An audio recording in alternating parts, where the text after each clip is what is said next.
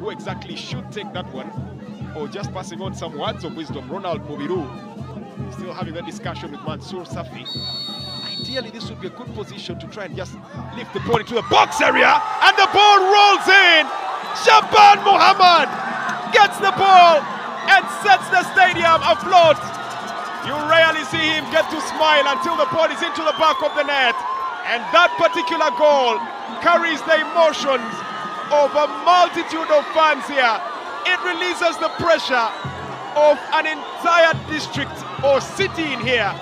It just literally gives a sigh of relief across the valley of death.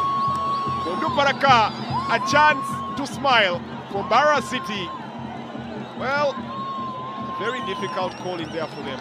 Wasn't he offside there? But, well, the, I think the, the clever play there come from Mansour. But uh, from the replay there that we saw in the angle, he looked like he was offside there, Muhammad Shaban. If you look at that uh, replay, maybe we shall see the angle better there. But you must credit Mansour for that clever play. Played the ball, he just chipped it, and it was just between the goalkeeper and the defenders. And that, that kind of ball that is kind of teasing. It doesn't get so far, it doesn't. Uh,